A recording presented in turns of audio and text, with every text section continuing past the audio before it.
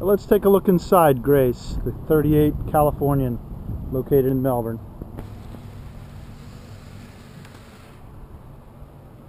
She looks really nice, nice and homey.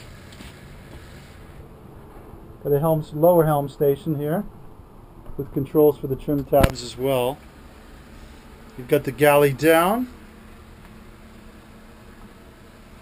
And you've also have your forward V-berth with a bunk.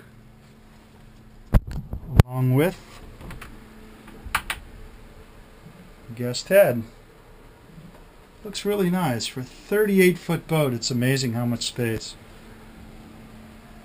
Now this is in the salon looking aft. We'll now walk the master stateroom. Hopefully we have enough light back here. Yeah, we should. It's got like a queen size bed walk around. Uh, plenty of uh, cedar lined hanging closets. Two here and then another one over here. There's actually a jacuzzi tub underneath here. How's that?